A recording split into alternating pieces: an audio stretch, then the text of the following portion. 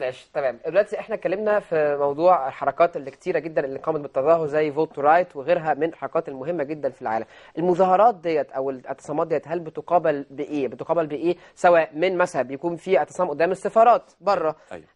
هل بيحصل مثلا ردود فعل ولا لأ؟ ولا ولا إيه؟ وعلى الإنترنت كمان يعني إيه هي الجهود المتواصلة على المستوى الشعبي أو مستوى المجتمعات؟ وأنهي أكتر ال- ال- الجاليات المصرية النشطه في هذا الموضوع؟ ما هو بقى اللي حاصل إيه بقى؟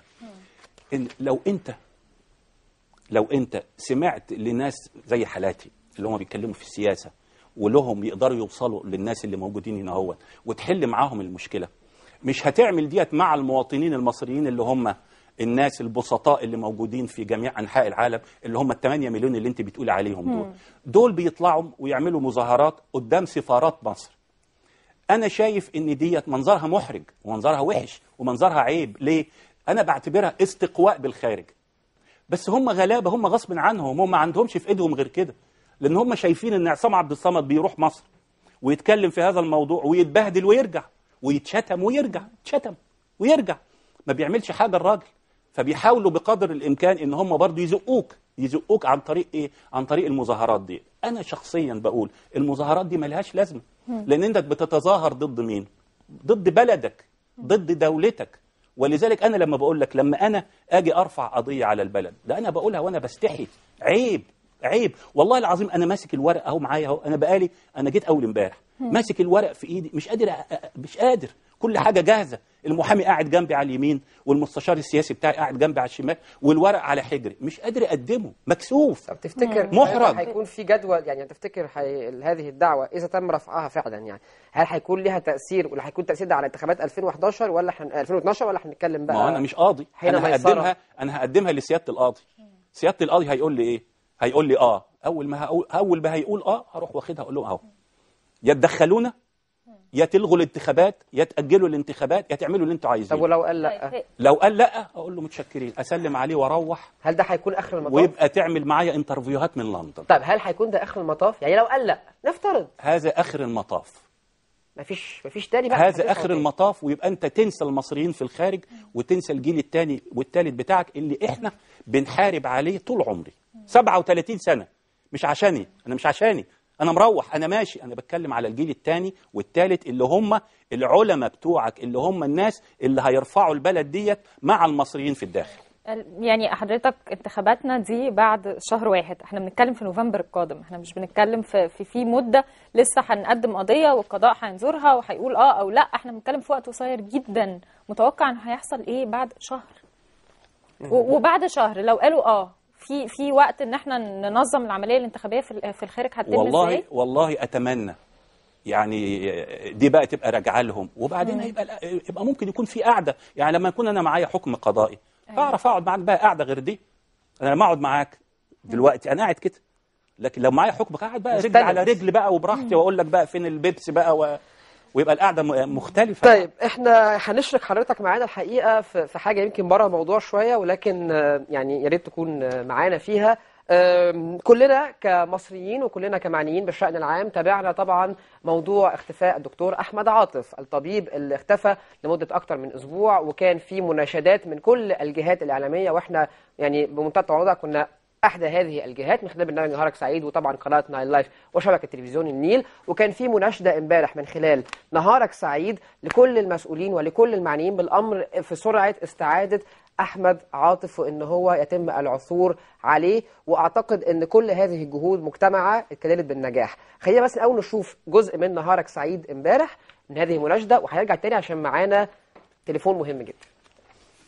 يعني هو بس نداء مرة تانية. مناشدة من قناة النايل لايف على الهواء لسيادة المشير طنطاوي. اعتبر أحمد مرة تاني أحمد عاطف ابنك لكل المسؤولين. اعتبروه ابنكم هو طبيب من شباب الثورة. فنرجوكم فعلا. طمنوا الأطباء وبطلب من الدكتور خيري عبد الدايم نقيبنا وأستاذنا.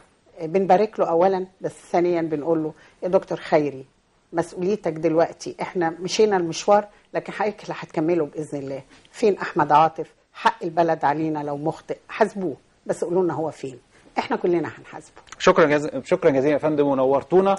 ربنا يطمنكم على الدكتور أحمد. نتمنى بنضم صوتنا الإعلام بيضم صوته لصوت الدكتورة. الدكتور أحمد عاطف وشفناه على آه، إحدى برامج امبارح في التلفزيون.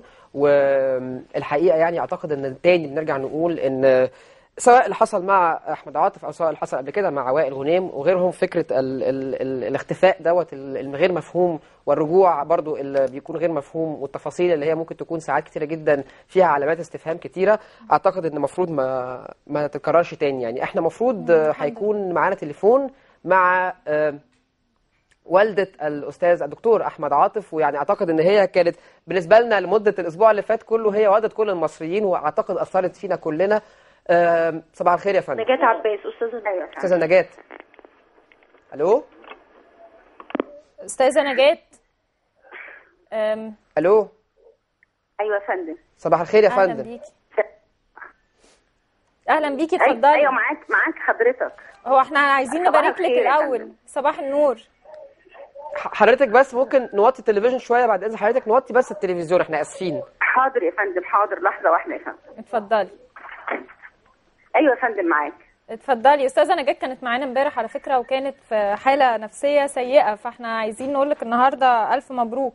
الله يبارك فيك يا حبيبتي. ووصل لك. بخير الحمد لله واطمنتي عليه وكل حاجة كويسة. الحمد لله الحمد لله والفضل لربنا طبعا والكل اللي مد إيده ليا ويساعد في إن أنا أجد ابني حي يرزق على الدنيا. يعني كتير كتير وسائل إعلان ساعدتني كتير. وانتوا طبعا من ضمنهم بس أنا لظروف الحالة السيئة اللي أنا كنت عن عندكم فيها ما قدرتش أظهر في التلفزيون عشان آه، أقدر إن أنا أبيح وأقول للعالم كله آه، على على ابني. طبعا برضو آه، قناة المحور اللي وصلت برضو ابني للمشير طنطاوي وأنا الحمد لله يعني الحمد لله. صوتك وصل. وكان وكان ليه تأثير. لا الحمد لله صوتي صوتي وصل لل- لل- ما اقولكيش للمشير طنطاوي أساسا كان عالم بكل كلمة أنا بقولها. بقولها وأنا كنت رايحة له أنا امبارح. أنا كنت رايحة له امبارح في طريقي امبارح وأنا رايحة له بعد ما أغمى عليا قدام القضاء العالي. آه، قلت له أنا رايحة للمشير طنطاوي لأن أنا ومسؤولية ولادي وحياتي ملهاش ملهاش طعم من غير أحمد. طيب. لو أنا لو أحمد جراله حاجة على الدنيا أنا أحمل آه، مشير طنطاوي لأن هو تعتبر المسؤول الأمن على على مصر. يعني أنا حياتي من غير أحمد ما تسواش يبقى أنا كده حياتي هيجرى لي حاجة ولادي طبعا خمسة يتامى آه، يبقى هي مسؤوليتها هيبقى مع مين يعني؟ يبقى هو مسؤولية ولادي لو جرى لي حاجة يبقى مسؤوليته هو. وأنا كنت رايحة في طريقي للمشير طنطاوي فوجئت بالمفاجأة اللي ما اقولكيش عليها بعد ما جيت من من من, من عندكم ورحت للقضاء العالي إن أحمد بيتصل عليا. اتصل عليا إيه؟ يعني ما اقولكيش أنا وأنا في العربية اللي كانوا واخديني فيها إن أنا رايحة للمجلس العسكري صوتت آه، صوت جامد. الدكتور اللي كان معايا فارمال كان هيعمل حادثة وإحنا ماشيين. فبصيت آه، عمو يصوت فين أحمد؟ وده أخته تصوت. يا ماما قلت لها أنا من لفتي مش عارفة أدوس على الزرار اللي اللي, بي اللي بيجيب الصوت آه، مش عارفة. أحمد الصوت آه، بتاع دي المكتوب أحمد عاطف بيتصل. رحت دايسه أنت أحمد؟ أيوه يا ماما أنا أحمد مش مصدقة. إزيك يا أحمد؟ أنت أحمد يا حبيبي؟ يا ماما والله أحمد اهدي. أحمد بيتصل على إن أحمد مش مخطوف. بيتصل على إن هو جاي لي يعني هو كان كان ساعه ما اتصل عليا وقال لي يا ماما أنا هاجي يوم الأحد. أيوه. فبيبين لي إن هو يعني يا ماما معلش أخرت شوية عليكي. مش ب... مش عايز أحمد كل كان دايرة مقفولة ما بيحبش يعرفني أي شيء في حياته. ففجوه زي ديتي ما كانش هيخليني أعرفها. حتى لو العالم كله عرف أنا ما كانش هيخليني أعرفها. بيتصل عليا عادي إن هو هيجي يا ماما على الحد. ففوجئ أحمد بإن أنا عارفة ومنهارة. منهاره انهيار كبير. فاهدي يا ماما اديني اللي معاك يا ماما اهدي يا ماما. فطبعا بيقول له صاحبه إزاي ماما عرفت؟ قال له الدنيا كلها عارفة يا أحمد. فقال له أحمد أنت فين؟ صاحبه قال له أنت فين؟ قال له أنا في رمسيس. آه، أنا في رمسيس فإن شاء الله يا أحمد آه، أمي ما تخليهاش آه، أقابلها في المستشفى عشان شكل ماما منهارة وأنا مش عايزة أتفرج عليها الناس في الإعلان. كانت المستشفى كلها قنوات هناك عشان تصور أحمد ما كانش عايز يشوف اللحظة إن أنا هكون أترمي على أحمد. وانهار زي ما انهارت هناك قدام القضاء العالي وأغمى عليا. فأحمد قالوا له طلعوا لي ماما من ورا باب المستشفى عشان أشوف ماما. فأنا طبعا مشيت عشان أشوف أحمد في مكان ما. خدت أحمد ما أقولكيش على اللحظات اللي أنا شفت فبقيت أبوس على إيد أحمد وراس أحمد وجسمي كل حتة في أحمد بقيت أبوس عليها. يعني خلاص أحمد عارف غلاوته عندك قد إيه ويعني الحمد لله على سلامته يا رب.